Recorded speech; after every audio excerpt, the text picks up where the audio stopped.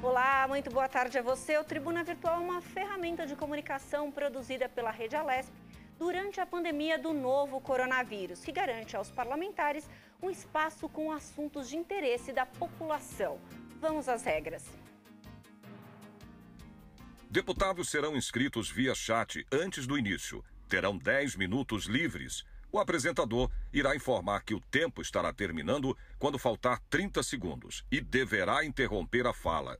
O deputado que tiver conexão estável e se houver interrupção por completo, poderá voltar após o orador que estiver usando a tribuna e encerrar a sua fala.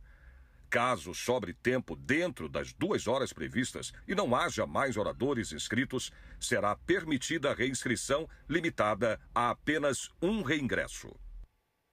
A palavra agora é do deputado Ricardo Melão, do Partido Novo, que tem 10 minutos pelo tempo regimental. Muito boa tarde, deputado. Seja bem-vindo. Boa tarde, Melissa. Prazer estar aqui hoje no Tribuna Livre Virtual, né? E queria, bom, começar hoje, é como você mesmo colocou, Melissa, isso é um espaço extremamente importante para que nós, deputados, possamos trazer assuntos de interesse da população, né, que justamente vive a realidade do dia a dia em nosso estado e sofre o abandono, o descaso, infelizmente, do poder público. Né? E a gente está aqui para ajudar a fiscalizar, é, dar voz a essas pessoas, mostrar problemas e buscar soluções né, junto às autoridades responsáveis, poder ser uma voz para encontrar essas soluções. Então, hoje, aproveitando esse espaço e eu, a minha função como deputado, eu queria trazer uma reclamação que chegou até mim de moradores da Zona Leste, lá de Itaquera, mais precisamente no bairro da Vila Regina, a respeito da escola estadual que tem ali, a Nabira Abdala Schoff. Né? Essa é uma escola extremamente importante, né, que tem crianças ali que frequentam.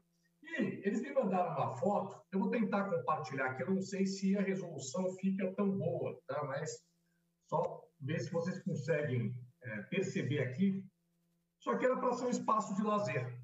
Né? Tem até, a gente pode ver aqui, tem cestas de basquete, enfim, era uma quadrinha que está coberta por mato, todo o entorno com mato ali crescido, ou seja, mais um espaço aí, né, ajudando a proliferar é, ratos, doenças, enfim, é, precisa ser feita uma zeladoria ali é um espaço que poderia né, estar sendo usado para área de lazer, não só para as crianças que frequentam a escola, como também para toda a região. É uma área de lazer importante, numa região ali bastante populosa e poderia ser muito útil aos fins de semana para que jovens possam frequentar, praticar esportes, ter atividade junto aos seus familiares, que a gente sabe que é tão importante ter opções de lazer é, nos bairros de São Paulo, até para afastar os jovens da criminalidade, infelizmente, do uso de drogas e outros males que, que a gente enfrenta né, com a nossa juventude. Então, é uma área extremamente importante que está abandonada. O mínimo de reparo ali, de cuidado, é carpir o mato, é pintar a quadra, é adequar esse espaço. Com certeza teria um ganho ali para a região de Vila Regina muito importante. Né? E aqui eu queria citar, inclusive, os moradores que me trouxeram as reclamações, Rodrigo Lopes, grande amigo, advogado, atuante ali da região de Itaquera.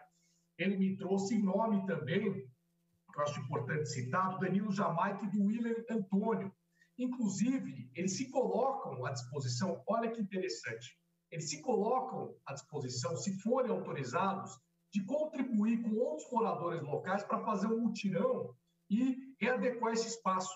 Então, eu queria fazer esse apelo ao secretário Roseli Soares e a todas as secretarias de educação que são responsáveis por essa escola, uh, se não forem fazer os reparos necessários, né, se não tiverem condições, enfim, eu, eu entendo que tem, mas pelo menos permitir que os moradores locais né, possam contribuir com isso, né, fazer um mutirão ali, pintar a quadra, readequar o espaço, carpir o mato, que com certeza uma área de lazer como essa gera um ciclo é, um virtuoso na região muito importante para evitar, como já mencionei, diversos males aí, com uso de drogas. Né? Aliás, o espaço, quando fica assim abandonado, ele acaba sendo foco.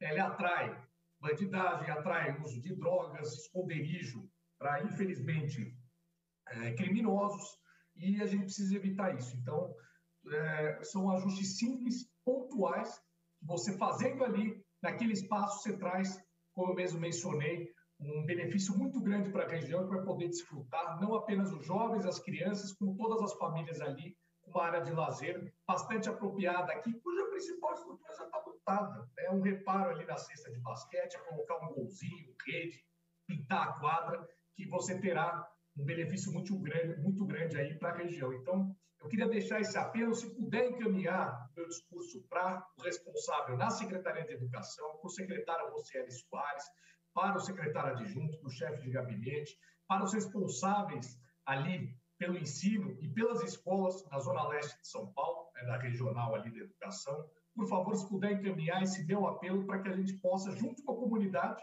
né, comunidade contribuindo aqui, como já se colocaram à disposição, como eu mencionei aqui, tanto o Rodrigo Lopes, o Danilo Jamaica, o William Antônio, né, para poder revitalizar esse espaço e trazer esse benefício. Então, esse era o meu recado de hoje. Agradeço muito você, Melissa, todos os telespectadores e funcionários da Alesp é, por último.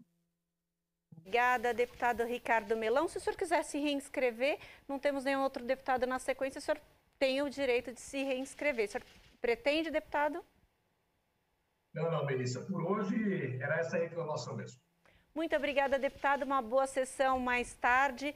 É, a gente, esse foi mais um Tribuna Virtual. A gente, esse é um espaço para que o deputado consiga falar sobre as suas demandas aí e fazer as suas, seus encaminhamentos.